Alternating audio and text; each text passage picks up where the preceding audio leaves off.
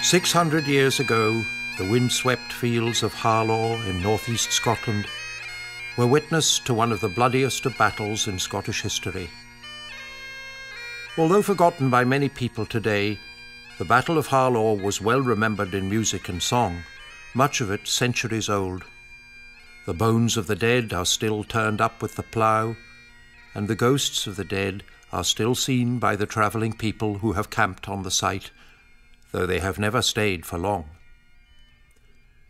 This story takes us back through those centuries with the extraordinary Gaelic incitement to the battle and the age old struggle between war and peace. Included are Black Donald's March to Harlaw, two powerful ballads describing the battle, and an 18th century fiddle pibroch based upon one of the ballad tunes. The performers are drawn together by an event that haunts the imagination and underlines the terrible pity of war, its prides, its sorrows, its courageous deeds, and its grim tragedies.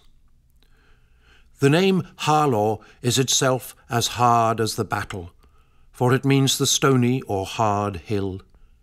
On account of the amount of blood shed on that momentous day, July the 24th, 1411, the hill is also known as Reid or Red Harlaw. The leaders of the two opposing armies were first cousins, Black Donald, Don Lila, who died in 1423, and Alexander Stewart, who died in 1435. Both were Gaelic speakers, both were fighting for possession of the same territory, the Earldom of Ross, and both survived the battle.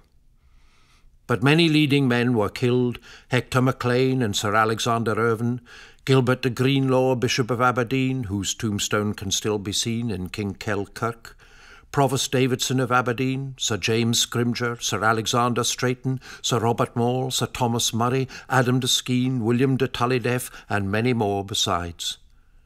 And, of course, many hundreds of ordinary people, including some of the criminals of Aberdeen, enlisted to defend the city. Who won? Both sides claimed victory.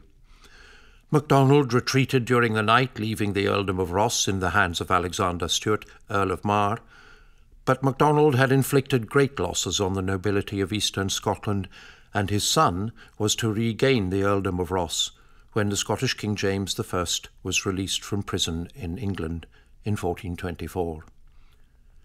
In effect, the terrible carnage of the battle achieved little save that it resonates through